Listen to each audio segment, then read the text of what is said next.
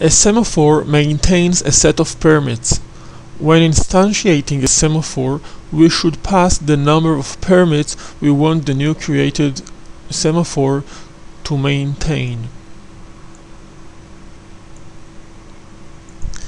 Invoking the acquire method on a semaphore results in using an available permit. If there isn't any available permit, the thread blocks until a permit becomes available.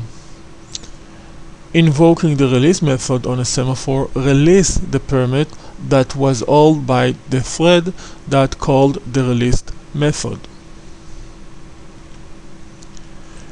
In this code sample, we have one semaphore instantiated with the value 2, meaning at any given time only two threads at the most will be able to hold a permit from this specific semaphore. If we go over the code, we can see that th new threads based on the worker class are started in this loop. Each one of them use the semaphore object we have in this program. In the beginning of the run uh, method, there is a call to the acquire method on the semaphore object.